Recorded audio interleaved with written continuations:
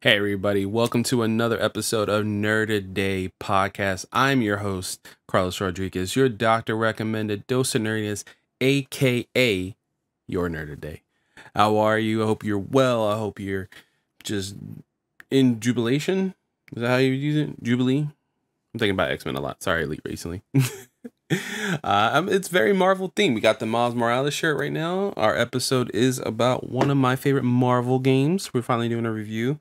You know, stuff that I promised in 2022. We're gonna, you know, we, we pushed it off to 2023. But still, listen, we're, we're doing it. And, you know, if this is your first podcast that you're listening to in a while, yeah, there, there's been, you know, some other stuff happening. The podcast is not the only thing for audio listeners. You go to youtube.com slash nerdaday, you can see me start my playthrough series of Marvel's Midnight Suns, another Marvel thing, uh, my demo reaction to Forspoken, and my demo reaction to One Piece Odyssey over there, youtube.com slash nerdaday.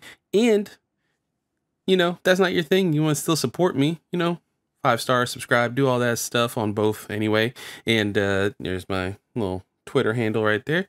And don't forget, you know, you can help me monetarily as well on patreon.com slash nerdaday. Like these fine folk right here, like hopefully awesome, Jeff Felsh, Susan, Raspass, and Brandon.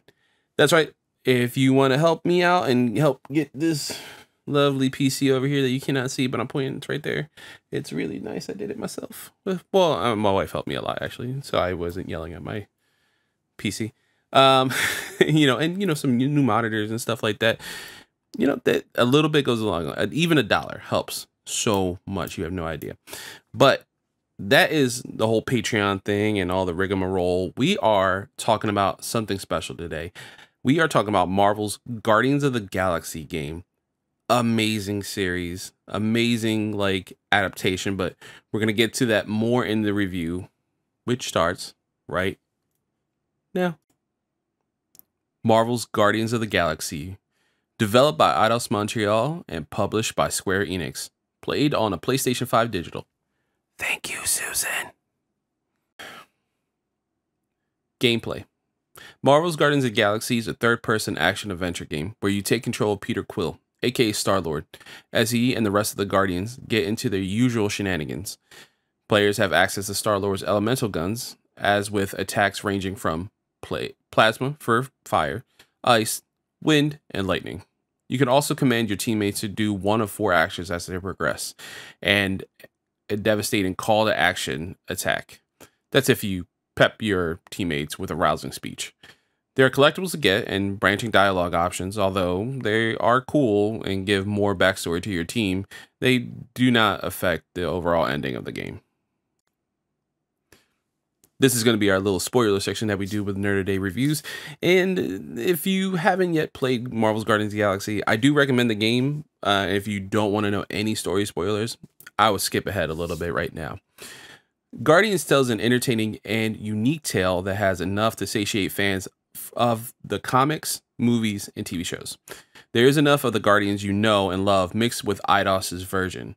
They also do a good job of showcasing the cosmic side of the Marvel universe, whether it's Cosmo the Space Dog, the Nova Corps, Fin Fang Foom, and even Adam Warlock. It, it weaves such a fun and captivating tale. I also love both the comedic and dramatic purposes the storyline uh, takes with Peter. Um, like, for instance, Peter might be Nikki, a new character introduced in the game's dad. The false ending was fun as well and a great sense that you can tell that something was off and you're not necessarily beating the game. Everything doesn't feel copacetic and almost too nightly, night, nicely packed. It was decent. I thought that was really fun to do. Now for the negative. One of the only negative things I can think of, it's it's fairly mundane when it comes to gameplay and controls. It seemed very repetitive and but it's not really deal breaking as I mentioned, you do get to play as Peter Quill and you get to, you mainly stick to him. You do call out actions to Rocket or Groot, Gamora, or maybe another party member that you might have with you. But those are cool as you level them up and do stuff, but it does get a little repetitive. Like, oh, we have a bunch of guys. Groot, do this attack that like grabs them all. All right, Rocket, hit them with your, you know, super big attack that we unlock. You know, it does get a little repetitive but it does serve the purpose of moving you along the game to get to the main story parts. And I mentioned this before in other Nerd Day reviews. Story is king for me.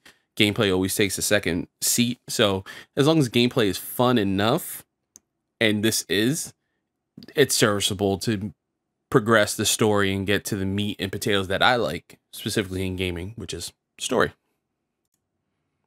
Overall, I had a blast with Marvel's Guardians of the Galaxy. As I mentioned earlier, the story, attention to detail, character arcs, and heart made for a very enjoyable experience.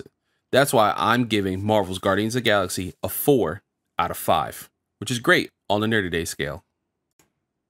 So there you have it, ladies and gentlemen, my non-binary folk. That's my review of Marvel's Guardians of the Galaxy. Again, I played it on PlayStation 5 digital. Thank you again, Susan. I love you. Um, and I had a really good time. I was really shocked about the story. I thought the story was very serviceable and, and a good change of pace, as I mentioned earlier in the review. Um, they it wove its own tale while also kind of giving callbacks to you know previous Marvel cosmic storylines. If you happen to watch like the Marvel's Guardians of Galaxy cartoon on Disney XD or you know it's on Disney Plus now, uh, if you read the comics, if you watch the movies, you have a little bit of everything. While Eidos Montreal got to make their own game, uh, I kind of hope they get a new crack at it. I know Eidos Montreal specifically is owned by a new you know, corporate conglomerate. And I don't know how that works if they, you know, if Coach Media, Koch Media, or whatever, you know, gets to be like, hey, Marvel, you know, they worked on this. So, like, technically we own them now. So we can work on this.